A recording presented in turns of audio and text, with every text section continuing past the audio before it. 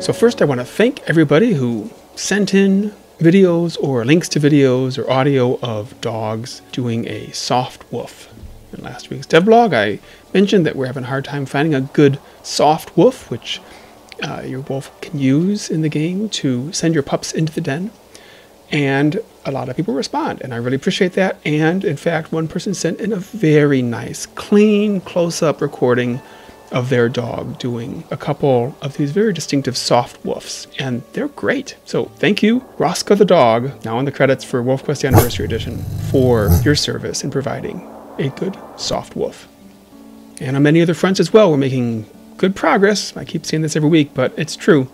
And I thought it'd be fun this time just to go through the build notes from yesterday's beta build and uh, just give you an idea of the wide variety of things that we have to worry about and figure out and fix up to get the game in shape. Let's take a look here. So in this build, there are a couple new things, some tutorial tips for mate commands. That's what I showed last week. And uh, pup interactions, so Andrei got those set up and also added some notifications when in the established territory mission you're looking for a den. There's a little den radar that says there's a nearby den, and so we need a notification explaining that. If you are marking your territory on the outer fringes of the map where there aren't any dens and you're in stranger territory, pretty deep in stranger territory, we wanted to um, alert you that that's not really a good place to be establishing your territory. And something else here which I don't want to show right now.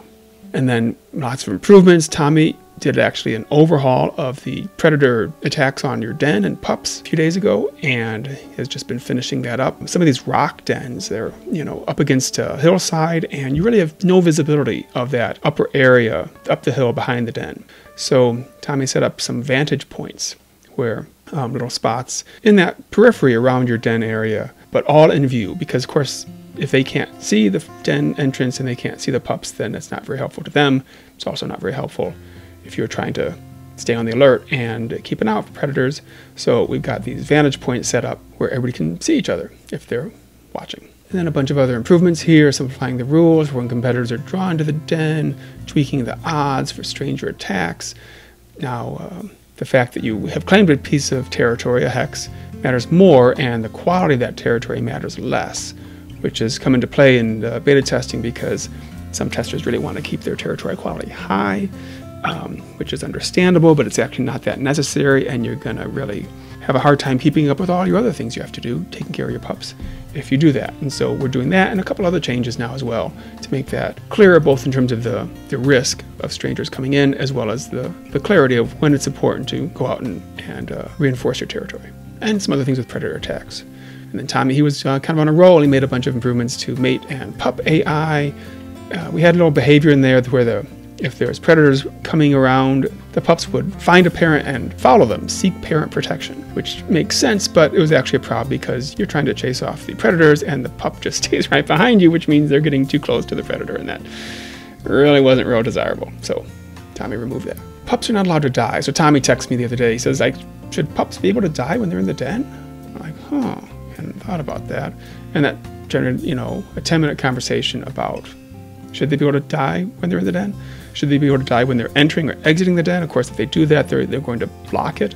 Um, so other pups can't get in or out, and that's a problem. And then if they don't die when they go in the den, then if they're starving, which hopefully won't happen much, but if they are starving and they come out, are they going to die like keel over like five seconds later? Seems a little weird. So every little thing needs thinking and design work and then implementation, and hopefully not too much revision after that remove the mate and pup circling. We had a neat little behavior there, but um, it needs some special animations and some special thinking to figure out how to make it look right, so we had to remove it for now. Personality effect, making the energetic mates more eager to go hunting than lazy mates. And if a mate does go off on a solo excursion to mark territory, now they'll prioritize the hexes near the den, which are more important in terms of um, keeping a strong territory and keeping those predators, keeping those stranger wolves from coming in for your pups. And then while he was doing all that and Andrei was setting up all those uh, tips and notifications, I was working on the world. I made five more dens. We got a couple new dirt hole in the ground dens. And I finally got around to making new versions of the old Saddle Meadows and Aspen Heights den. Let's take a look at one of those. Here is the new Saddle Meadows den. It's not exactly the same, but but it's pretty close to the same place and and a similar idea. While I was working there in Aspen Heights, I realized that we needed some of those big rocky outcrops. Um, I had not gotten around to that, so I added some more of those. We were showing pup icons on the map, but we decided to disable those for reasons I don't want to explain right now. When you uh, finish establishing your territory, then you find a den, and then, similar to the old game, your pups are born, and we decided to be nice. We're going to be nice guys here and refill your food and sleep meters when the pups are born. Because as good parents, you probably would have gone out and eaten your fill and caught up on your sleep because you know you're not going to be able to do that once the pups arrive. So we decided to do that for you. And then a bunch of bugs too. So this was a particularly productive couple of days, I thought. And so kind of fun to just to show a tiny slice of the many, many, many different things, big and small, that we are working on as we uh, test and tweak and tune and refine the upcoming Slough Creek episode of WolfQuest Anniversary Edition.